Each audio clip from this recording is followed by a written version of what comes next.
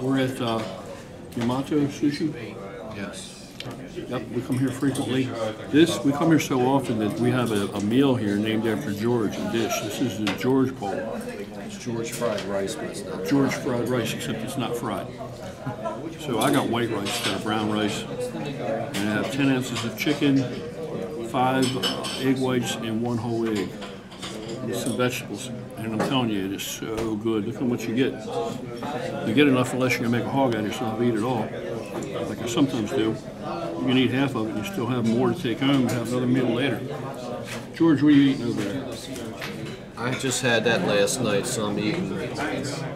It's called a manna roll. It's uh, tuna, avocado, and shrimp. Mm, tuna avocado and shrimp. That sounds good. Yeah, I got some rice coming after this. Carbs. And you had, what else did you have? You had salmon, right? Yeah, we had a couple orders of salmon. I had the salmon too. And what's special about the salmon? Why is it so tender?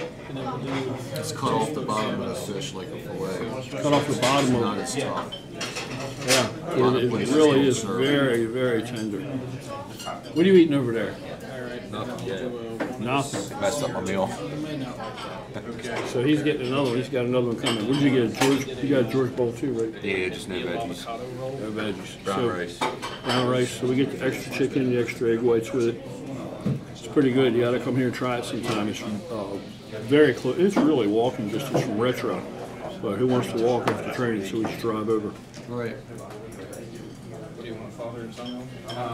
What, what are you eating, Val?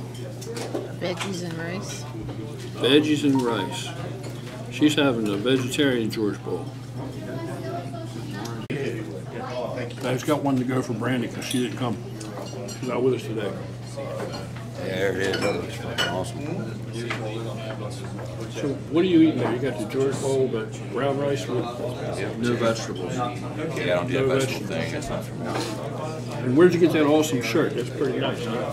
Look at that baseball jersey. Turn around, show them. Let's see that thing. I actually just got one made just to see, check it out, see, see if I like it.